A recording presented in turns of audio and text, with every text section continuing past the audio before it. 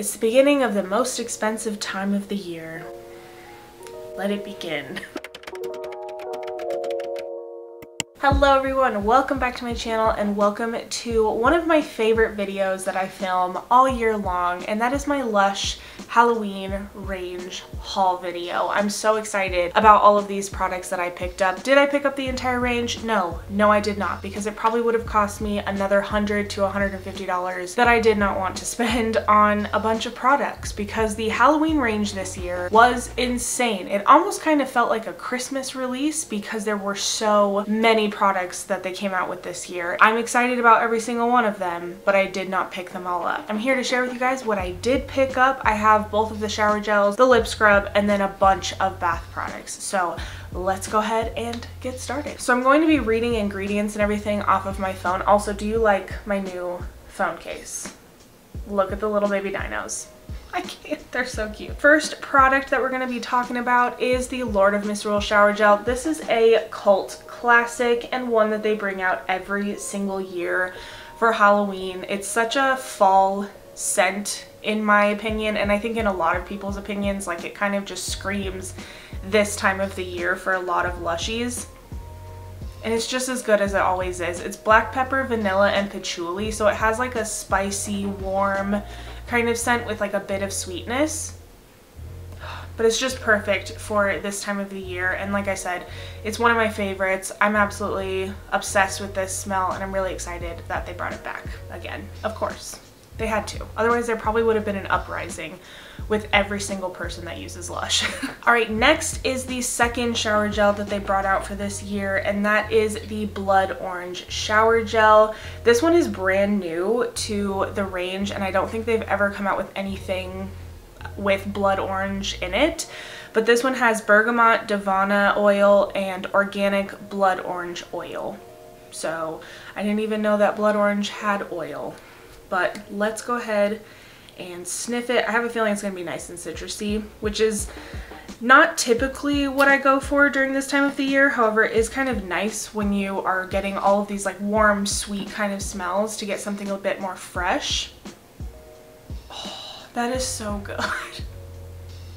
I love that. It is very, very citrusy. It's not like too sweet, but it's also not too like sour smelling. It's like the perfect balance. I love that. That's delicious. Super happy that they brought that out and also like I love blood oranges. So this, I thought I was going to love it, but I might need bigger bottles of both of these shower gels. I put myself into a pickle. All right, lastly, before we get into all of the bath products, I did pick up the new lip scrub for this year, which is the Vampire Kisses lip scrub. And I'm really excited about this one because on the website it says that it is a sour grape flavor.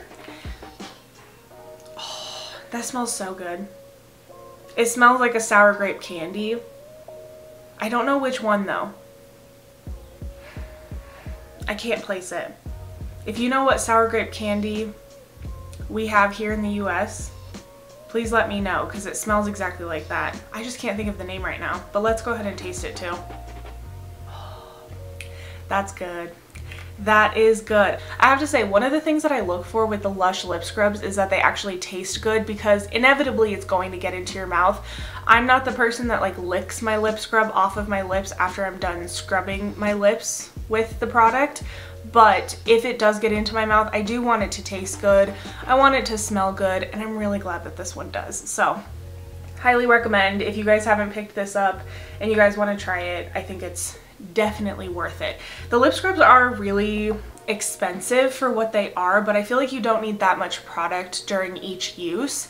And you also don't have to use it every single day. So I feel like it is kind of worth the money, you know? So yeah, love that one. All right, let's go ahead and talk bath products and I'm going to try to kind of create bath cocktails with you guys right now based on scents. So I'm gonna talk about one bath bomb and one bubble bar because I did try to purchase like four of each type, so four bath bombs and four bubble bars, so that I could kind of pair these things together and kind of create a nice bath cocktail.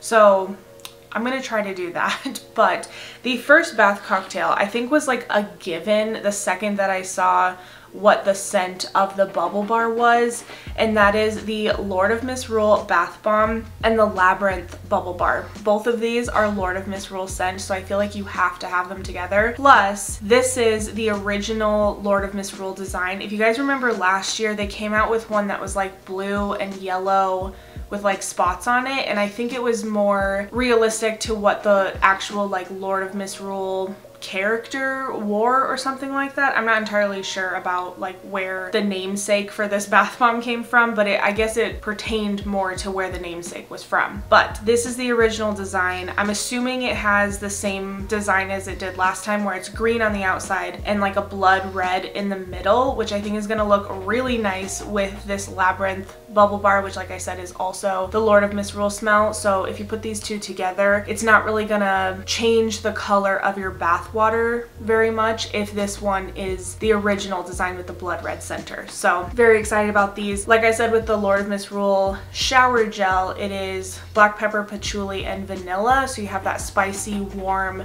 with a bit of sweetness scent to it and they both smell exactly the same and I cannot be more happy about that. I'm really obsessed with this little combination and I think the Labyrinth Bubble Bar looks really cool. It's got like that shimmery top to it and it does look like a little maze on it which is super fun. So very excited to combine these in the tub. All right, I think the next bath combo that I'm gonna create is going to be the I Want My Mummy Bath Bomb. Look at him, he is so freaking cute, just all in his little wrappings, just living his best life. I think this is so cute. I'm gonna have a real hard time putting this in the bath water and watching him dissolve away, but this one has like a warm caramel scent, I guess.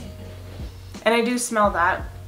It's very light. It's not super overpowering, which I appreciate, but I do enjoy this one. And I think it'll go well with the, I can't remember the name of this one ever. It is the Bubble Lugosi Bubble Bar. So it's like a little vampire bubble bar. First off, I think they'll go well because of the colorings. Like this isn't too much color, but it'll add a little bit with like the purple from his, you know, head piece and also maybe a little bit from the fangs but probably more from the purple. But this one is supposed to be blackberry scented. And I do smell that a little bit but it is very very light. And I think they'll go pretty well together as far as smells go so I think that's the bath combo that I'm going to do with these two. I'm excited to see what this one looks like and smells like. I know it's kind of odd to kind of put like a caramel and a blackberry scent together, but they're both so light in fragrance that I don't feel like it's to be really weird or smell odd in the bathtub. All right, so I think the next bath pairing that I'm going to do is going to be the Screamo Bath Bomb.